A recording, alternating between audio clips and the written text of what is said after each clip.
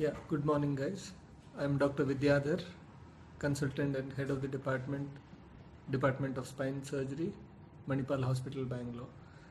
I'm here for the next one hour, trying to share with you what I have learned in uh, last 15-20 years, trying to learn about back pain and related stuff.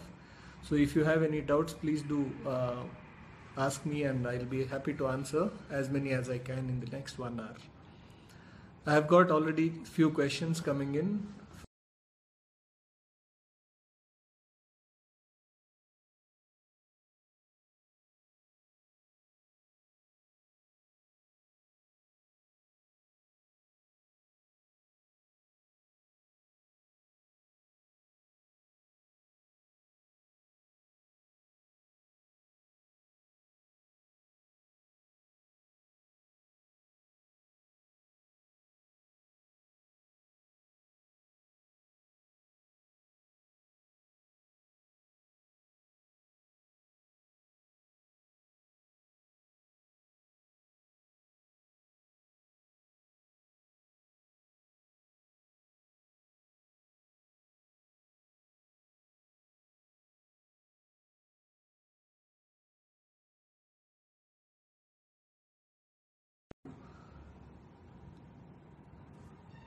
Do what you want to do and uh, be within pain limits. Basic key is pain is only a signal to say that uh, your back is injured or hurt and it needs some time for body to get all right completely. So till such time if you can, yeah, you can pop in a pill, painkiller and go for a movie or take an international flight if it is really necessary. If not, just wait wait for a couple of days or a couple of weeks. Till such time that body heals and then you can do everything. I have the next question from abhishek malik who is asking what is degenerative disc disease and what are the best cures for it? See abhishek uh, it's a good question but it's more of a theoretical question. Degenerative disc disease if you ask me is not a disease per se it is a aging phenomenon as you go old your disc that is the cushion between the two bones. Disc is very famous character in uh, today's world especially in a IT crowd like Bangalore. Everybody knows about disc. I think after Modi he gets the maximum TRP rating. Now you can't uh, say that it is a disease to get degenerated. It is only to say that uh, degenerative disc disease is a part of aging. Like our every single disc or the cushion between two bones in the neck and back loses water and protein from the tissue disc and becomes more firm or more um, harder. And this eventually bulges and then the disc ruptures. The disc fluid inside will come out. The disc gap reduces. And once the gap reduces the bones will slip or start toppling one on top of the other and to prevent this the body starts forming bones at the edge of the bones bridging the two bones together. And then eventually the two bones fuse together. And this is called as stage of self stabilization now if you ask me these are the stages from disc degeneration disc bulge disc prolapse to spontaneous stage of instability and spontaneous stage of self stabilization so these are the stages of degenerative disc disease which has to happen in every single disc of ours. We have 33 discs and every single disc has to go through all these phases of degenerative disc disease before we die. If you don't have these changes in your disc you are superhuman. Now what are the best cures? I guess in today's world as far as i know i don't think we have a cure to prevent this degenerative disc disease because it is an aging phenomenon and you have to live through it the next question comes from Bapil Kumar. What are the risk factors of back pain? See, a lot of people have a lot of philosophies or theories behind why people get back pain, why some get, why some don't get. The commonest cause is idiopathic, wherein, like every other disease in the planet Earth, lot of things we don't know why, and we call it as idiopathic. That means you don't know and you get it at some point of time. Like 8 out of 10 of us will have some amount of back pain at some point of time in life with or without doing something with or without lifting something with or without bending some somewhere. So you get back pain without a reason. This is idiopathic low back pain. Now there are other theories like mechanical theories. You lifting something straining your back. Or there are nutritional theories. That means you know the disc is actually not a um, it is a largest avascular structure in the body. There is no vascularity. In the other in other words see every tissue in the body needs blood supply for its living. Through blood tissues get nutrients like glucose oxygen and the good blood takes all this. The cells metabolize these uh, glucose carbohydrate uh, proteins and fat along with oxygen and carbon dioxide and lactate will be the waste products of metabolism and they come out of the cell or the tissue now good blood goes in gives the nutrients to the tissue and bad blood takes away the products of uh, metabolism and the product of metabolism is causing energy. Energy is ATPs which are required for any living tissue in the body. Now, if you take any organ in the body needs blood supply like brain needs blood supply heart needs blood supply kidneys lung liver everything needs blood to come give the nutrients for its life but disc being the most peculiar organ it is the largest avascular structure in the body. It has no blood supply, but it is living tissue. It has to metabolize, deliver ATPs or energy so that it is having life. Now, without blood, how can it get its nutrients? That is basically by a process of diffusion or capillary action. I think with back, background of engineering, you know that if there are micropores between a bone bone and the disc that interface there are micropores. Like capillary action the nutrients are getting diffused into the disc. Not perfusion it is diffusion into the disc. Disc is nothing but a sponge. You know the kitchen sponge? When you dip it in water it absorbs or imbibes water. That is how the disc gets nutrition by diffusion not by perfusion. Now there are risk factors. One of the very commonest and the highly dangerous risk factor is smoking. Nicotine in the smoke or in tobacco will have a special affinity for these micropores at the bone and disc junction which can block these micropores and then the disc does not get nutrition and the products of metabolism also will not be taken out of the disc so it gets to a state wherein it is like a sponge dipped in water for more than say one month it becomes very brittle and very soft. So piece by piece you can, it's so fragile that piece after piece will can be torn from this disc. So this kind of a disc which has no nutrition because of the tobacco or nicotine blocking the micropores becomes brittle or fragile and then once it starts getting injured small small pieces of disc fragments come and block the nerves which are coming down the back and the legs. And this is one of the first and the worst uh, risk factors that we talk about is smoking. The second risk factor is obvious overweight if you're obese overweight obviously it is a mechanical disadvantage on your back because your whole body weight is pulling your back forward and it is not good for your back.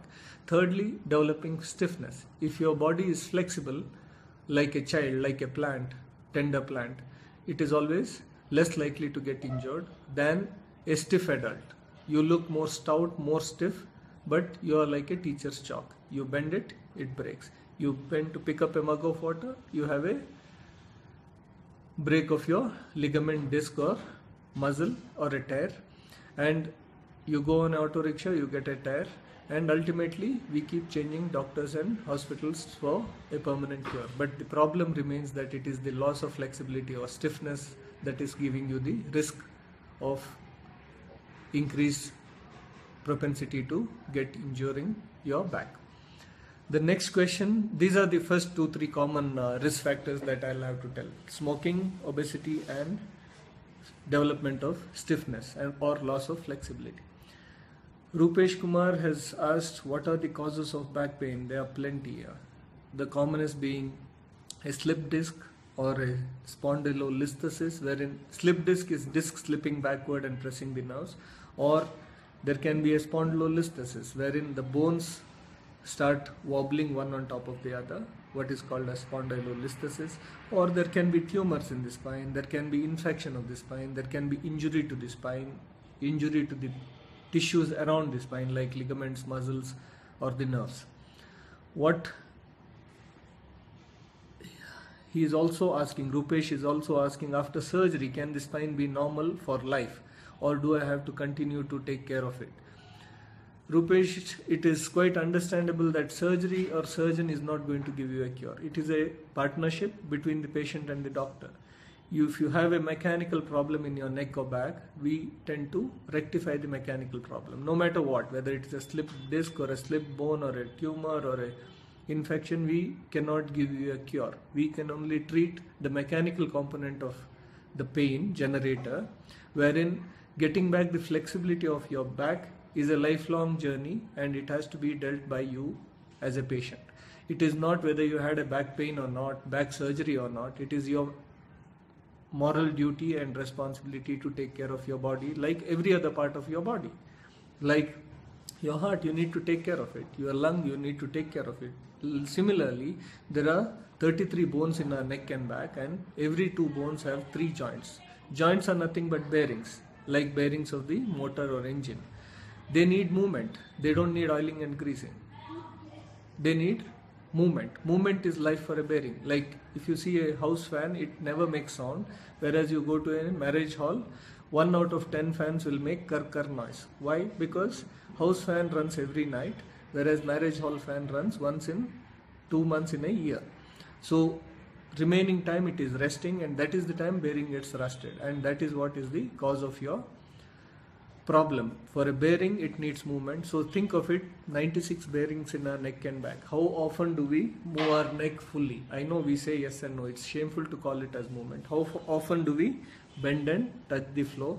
It is not done every day. Rather, we can count the number of times we have done this from plus two days. So if you want to have prevention or looking after your back, I think the only the most ideal way is to maintain flexibility, move all these bearings every day, every day to the full range of movement so that they don't get jammed, they don't get rusted. Coming to next person is Rohit uh, Dhyani who is asking can, how can neck and back pain be prevented? I think I just finished talking about it. I think one of the best exercises to do is yoga because it moves every single joint in the neck and back as well as the limbs. You know, there is no other exercise. I think the next closest to uh, yoga is swimming. Other than that, say you go for a gym, it's only the upper limbs and the um, cardio. Or you go to the uh, park for walking, it's only the lower limbs and the heart and lungs which are getting exercise. But yoga is a one-stop solution, and next best is the swimming. He also asks, Rohit is asking, can lifting normal weights also cause spine pain? It is not normal weight or heavy weight or light weight. It is just that if you are stiff you have a propensity to break. Anything can break. Even i have patients coming with a small mug of water they lift and they get a catch in their back. So it is the stiffness which gives you a propensity to breaking your back muscles ligaments or discs. Next samresh is asking when should i see a doctor for pain I I really uh, can tell you that you don't have to rush to a doctor just because you have first episode of back pain today morning. I think you wait, have patience, have faith on your body that nature heals. Nature heals. Nature used to heal even when there were no doctors, and nature will heal even today, and it will heal even in the days to come. So, after all the scientific advances, we today conclude that it is the nature which heals, not the doctor, not the physiotherapist, not the massager. And the main problems that we have today for nature to heal is we are impatient because nature would take maybe three days if it is a small injury, three weeks if it is a medium scale injury, or three months, up to three months if it is a major injury to your back. Now, how often have we patients to wait for three months? Of course not. We would have changed 30 doctors in three months. So we keep changing doctors and hospitals trying to get a faster remedy. And honestly speaking, trust me when I say that the last last doctor would get the credit, nothing that he needs to do. So I pray God every day that let me get patients who have almost come to the fag end of natural healing and let me get the credit. So I, I really feel that uh, uh, it is better if you wait for seeing the doctor as much as you can unless there are specific things like you are involved in a road traffic accident and having a back pain please do see a doctor because you need to rule out some fractures because it's a high energy injury. Or if you have elders in your house old people who are having osteoporosis and they have a slip and fall in the bathroom yeah you see a doctor. Or if there are patients with cancer or patients on steroids for some other reason yeah wherein you know that their bones are not as strong as a young individual's bones. And if they have a small trivial fall also i think you need to take a take them to the hospital or a doctor to make sure that there are no fractures being missed. Now the other aspect is talking about children. Children if they complain of back pain i guess it needs to be taken too seriously because children always complain only when they have either infection or tumor in their spine. And we do all the tests possible as doctors, all the tests possible to rule out infection or malignancy. Rest all can wait at least for three weeks before they go and see a doctor and before they even go to do an X-ray. Forget about MRI. We are talking about only X-ray. And if after three weeks the protocol that we follow, rather I follow, and most of the spine specialists across the world would follow is three weeks of back pain, we would do an X-ray in a normal man. I am telling you all the exceptions excluded. That is old people, people with known cancer, people on steroids, or people on or children. So all the rest of the people can wait for three weeks, and if they have still got back pain, they get to do one X-ray. It mainly excludes some gross pathology in the bones, but that's good enough. And then you don't need a MRI till six weeks of back pain, unless you have developed weakness in the limbs or problems in holding on urine or passing urine or motion.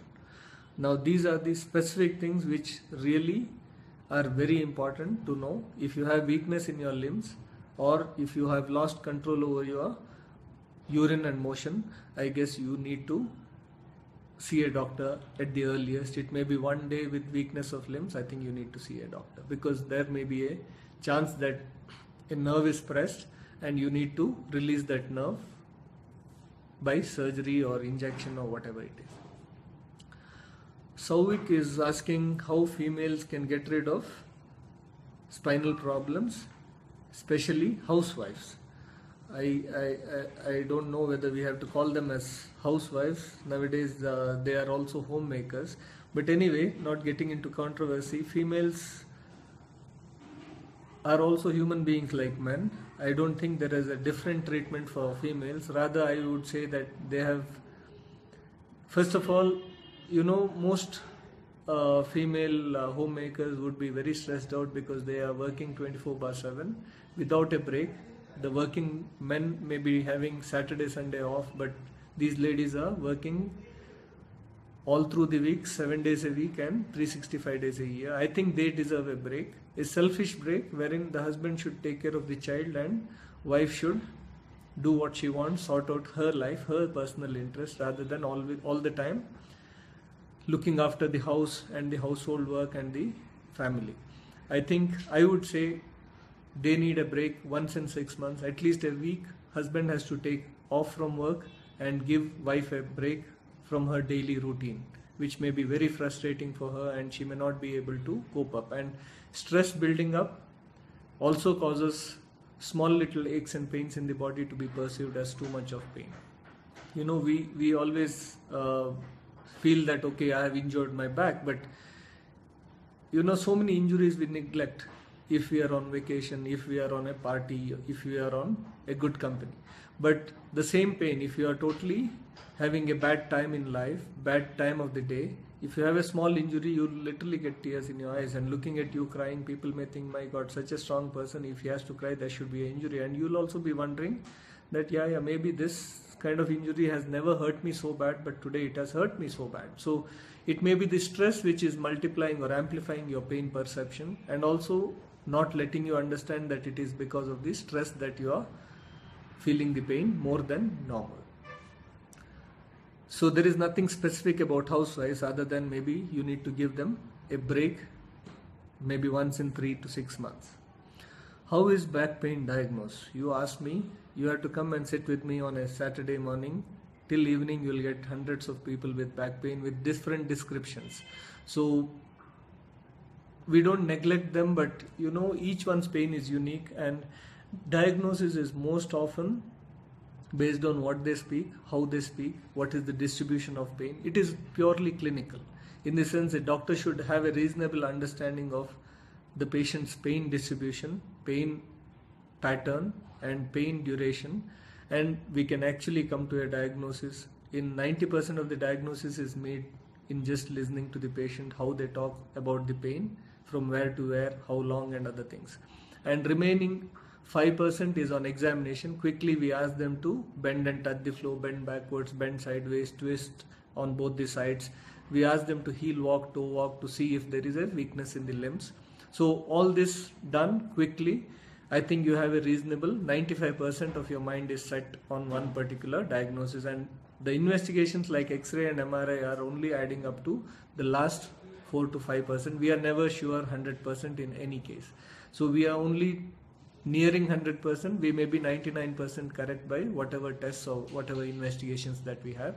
But you don't need investigations in 90% you just have to listen to the patient. 5% you need to examine the patient and remaining 4 to 5% you need to investigate by x-ray and mri mri is a very sensitive tool. It picks up all that you need to necessarily see or not see.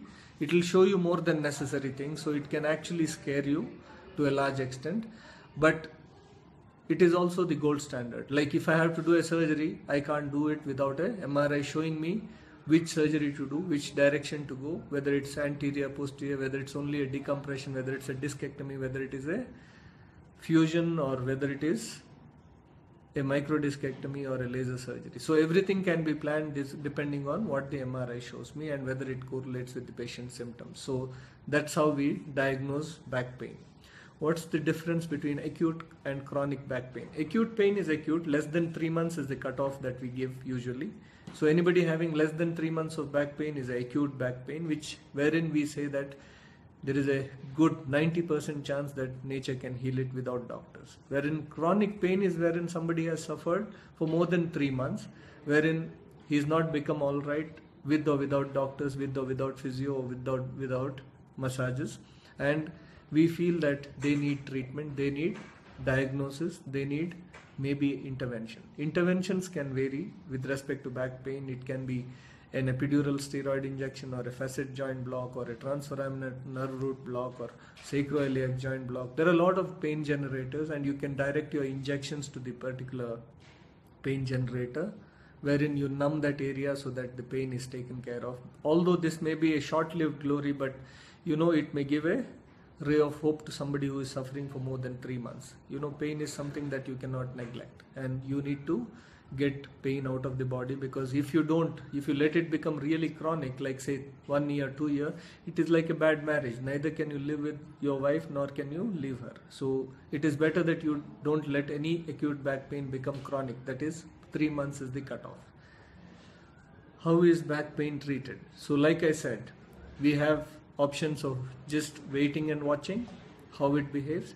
If there are indications for surgery, surgeries are available, but the indications are only three for surgery. One is if you have weakness of limbs, or if you have bowel and bladder involvement, or if you have functionally disabling pain for more than three consecutive months. These three are the commonest, maybe 95% of the time, back pain is treated by surgery with these three indications for surgery.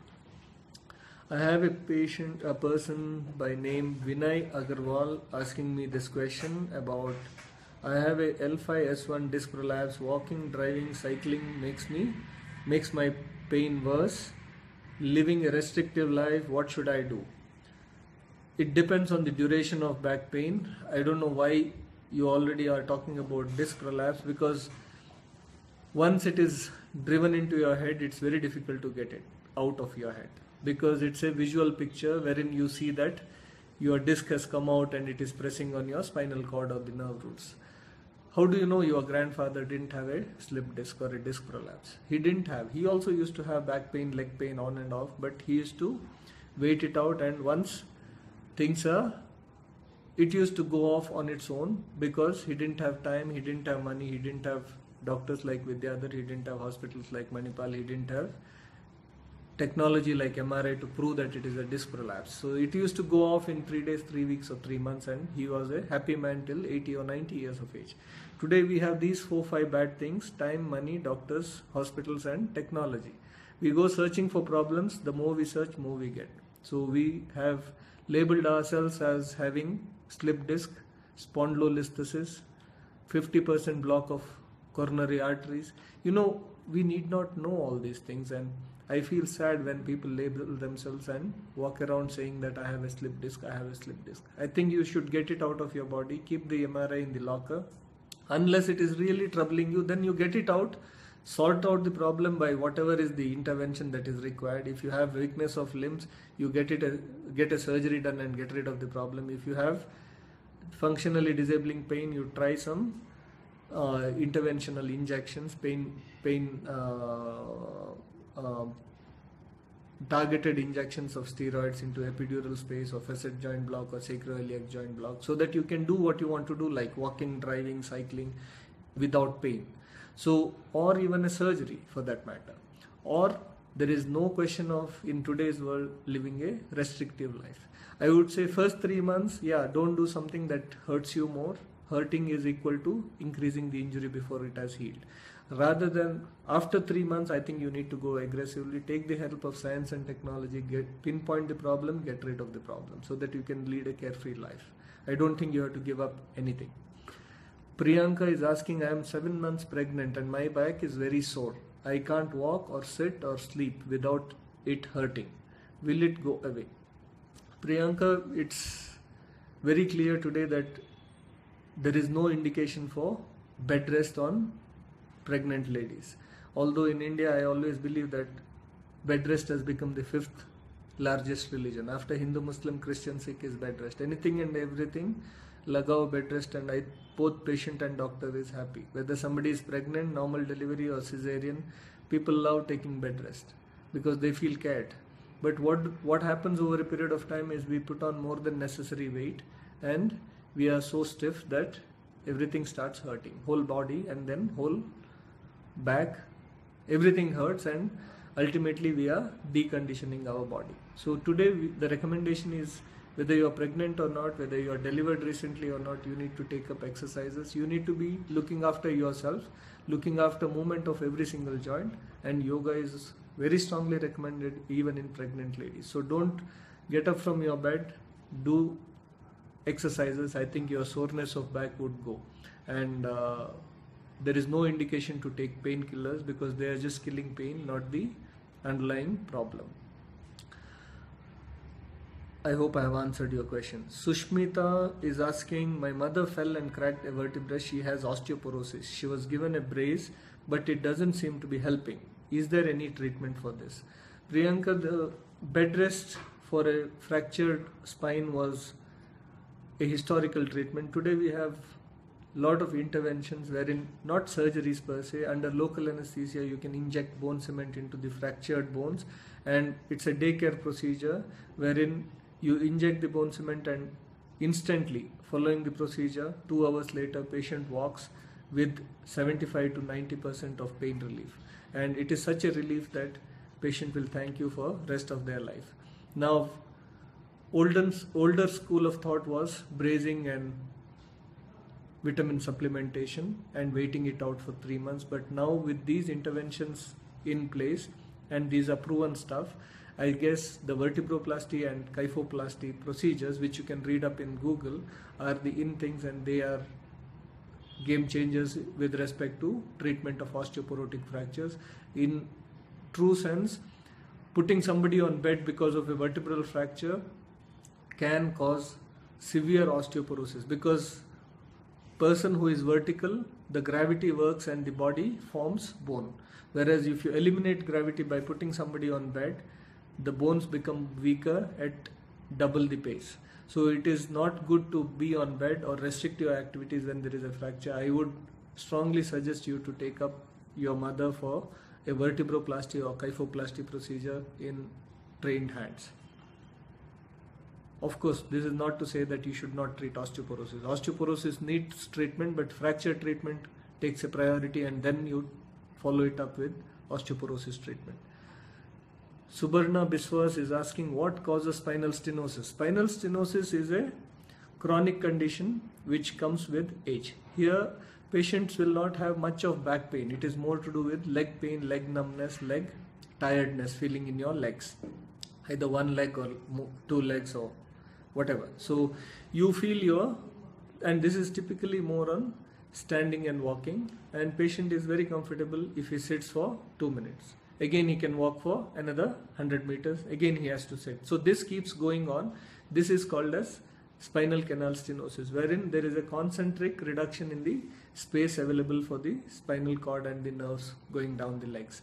And this is age related phenomenon. If it comes in the way of day to day activities of uh, people i think they need to get treated by a specialist. And this is a age related stuff. It has nothing to do with what you did in your childhood or what you didn't do. Reshma is asking what are the precautions required immediately after spine surgery.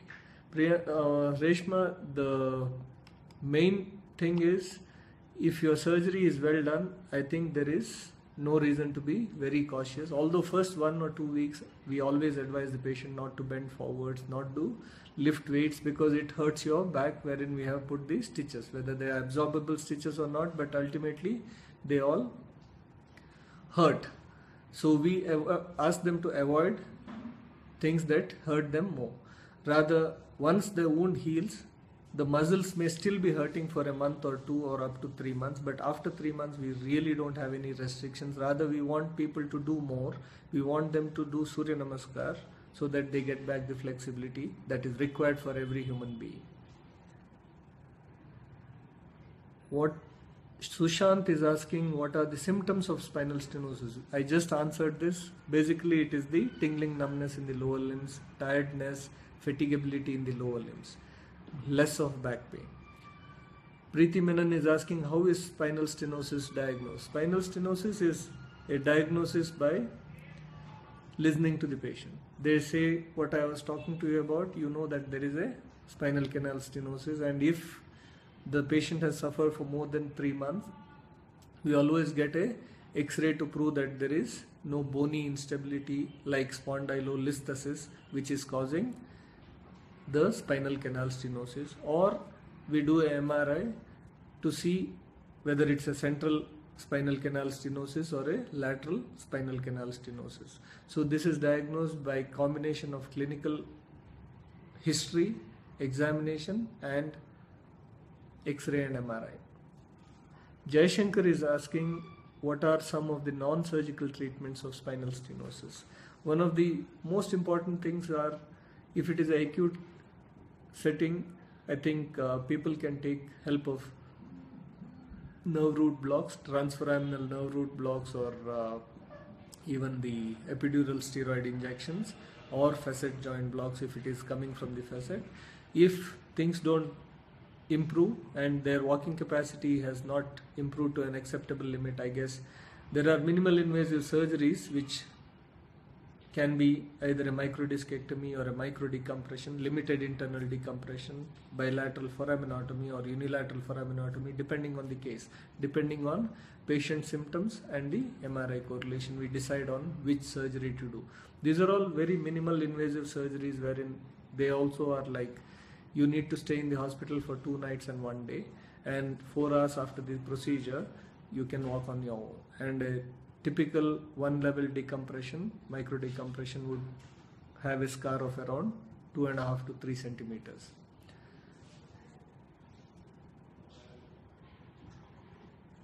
Mukesh is asking when should surgery be considered and what is it involved.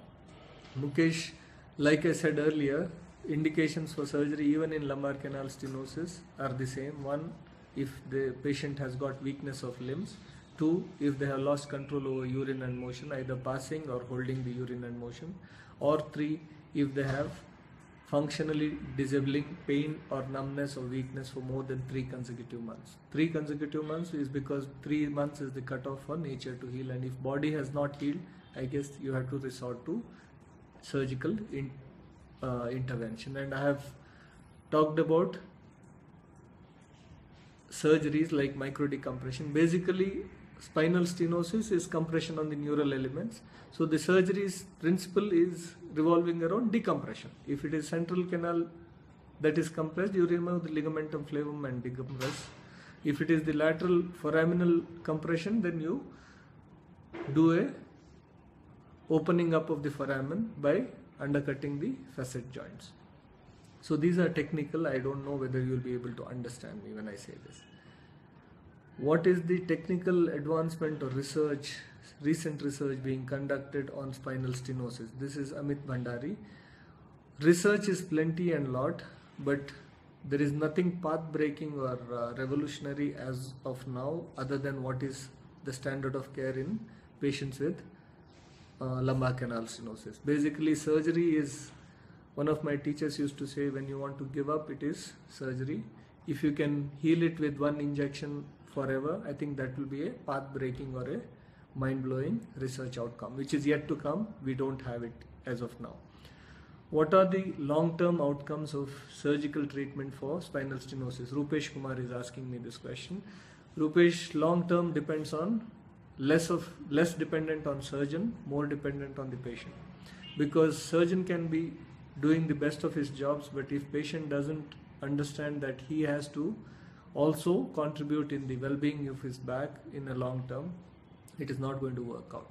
So you need to exercise so as to get a long-term outcome which you can lead a normal life, not near normal. You can be as normal as anybody else. People are getting into professional careers even after spinal surgeries without much of hassles. In fact, after a major surgery like scoliosis, today we have the brand ambassador of uh, Scoliosis Research Society, Miss Stacy Lewis, is the world number one uh, uh, golfer. So she is the brand ambassador having undergone a major spinal deformity surgery. So if she can be world number one, I don't think you need to restrict yourself with any sporting activity after a spinal surgery provided the surgery has been well done by qualified people. Shoaib Sheikh is asking what are the side effects, potential risks, and potential complications of surgery. Shoaib, surgery has two components. One is the anesthetic risk, the surgical risk. The anesthetic risk is dependent on the preoperative comorbidities that the patient has, whether the patient is a diabetic, hypertensive, whether the patient had a uh, uh, thyroid problem, patient has a cardiac surgery or a cardiac arrhythmias or so many things whether his liver is abnormal whether he is in sepsis whether somebody is having normal mentation or psychological illnesses. So a lot of stuff depends on the medical aspects based on which the anesthetic risk of surgery will become more or less. But having said that today most of the medical risk can be optimized and if not we can take extra precautions so that it is optimized. And safety levels are nearing 99%. Now the surgical risks are obviously surgeon dependent and also technology driven.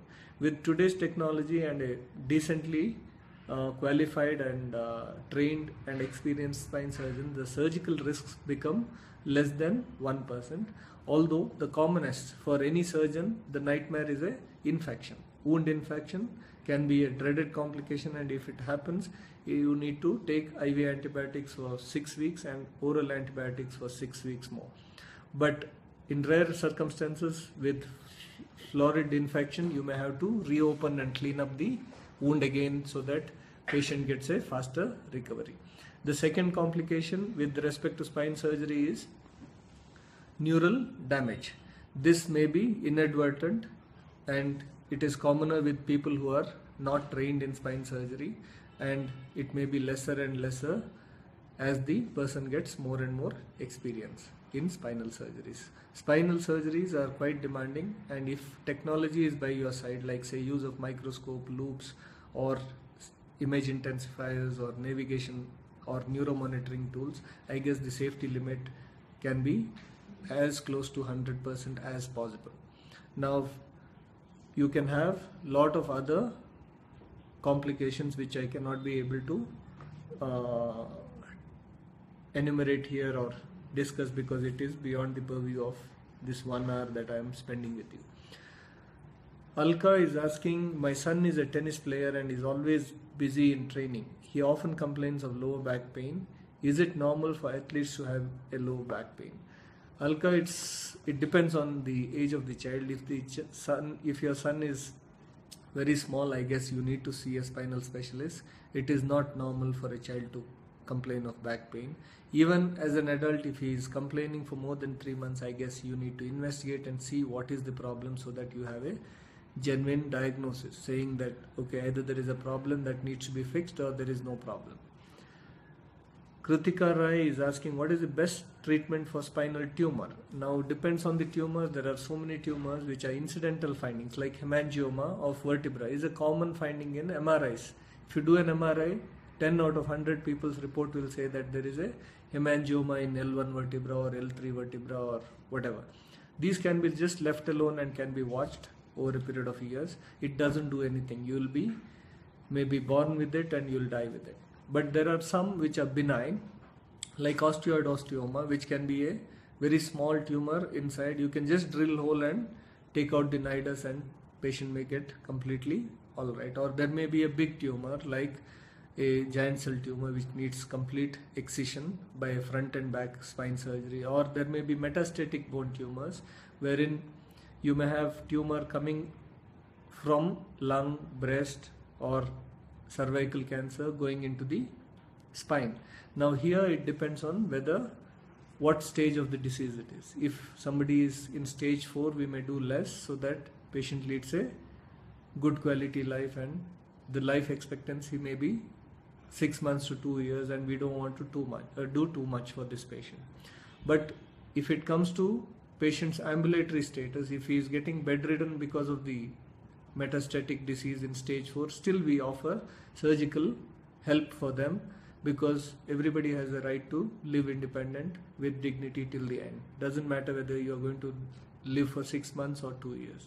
I guess that's how we decide treatment of tumors. And there are some primary malignancies of bone like lymphoma or myeloma or leukemia wherein most of the tumor can be cured with just chemotherapy and you don't need to operate unless there is a pressure on the nerves i hope i have answered you kritika khushbu is answering asking i have a back lower back pain for the past one month as i fell down and was told to have a slip disc can I sit for long hours in one place like watching movies or going for road trips?